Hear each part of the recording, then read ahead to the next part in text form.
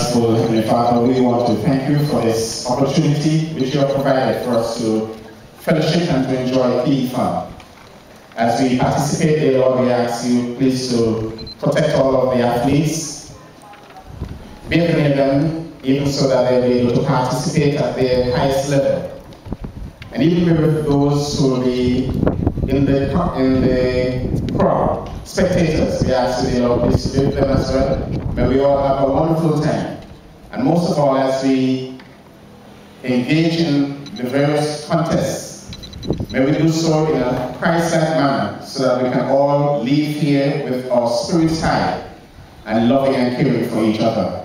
Even as we participate, dear Lord, may be a witness to the world that we can enjoy clean fun and still be Christians in your sight. Continue to be near, and we ask your blessing on this entire event. May your name be glorified, magnified, and honored. And may we all leave here with a happy, wonderful spirit. In Jesus' name we pray. Amen.